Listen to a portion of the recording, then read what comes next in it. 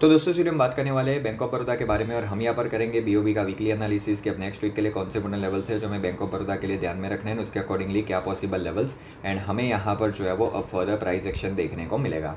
अब देखो दोस्तों, बात अगर हम करें यहाँ पर बैंक ऑफ़ बड़ौदा की तो कहीं ना कहीं इस काउंटर के अंदर भी हमें यहाँ पर एक अपसाइड का जो है वो सिनारियो बनता हुआ देखने को मिल रहा है। अब यहाँ पर थ्रू आउट दिस वीक क्या हुआ? तो बैंक ऑफ़ बड़ौदा ने जो अच्छे खासे रिज़ल्ट दिखाए थे तो 230 के अराउंड से रिवर्सल आया एंड वो 250 55 तक कंटिन्यू रहा। अब दो चीज़ें हैं जो आपको नेक्स्ट वीक के लिए ध्यान में रखनी है। सबसे पहली चीज़ स्टॉक स्टील यहाँ पर इस ट्रेंड लाइन ब्रेकआउट के ऊपर है एंड विथ दैट हमें यहाँ पर काउंटर के अंदर एक डबल बॉटम टाइप का डब्ल्यू फॉर्मेशन स्ट्रक्चर भी देखने को मिल रहा है।